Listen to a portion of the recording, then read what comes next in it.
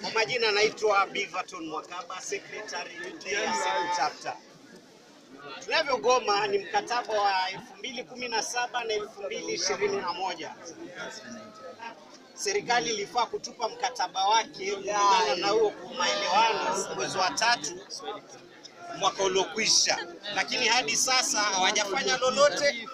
Sasa mlivyoambiwa ni kuwa tulipeana mkataba wa mgomo leo.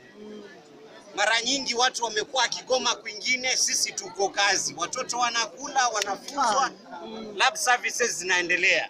Lakini leo nashukuru tumeamua kusimama, wanafunzi wamesimama na sisi, tulipwe vizuri, mle vizuri, mfunzwe vizuri.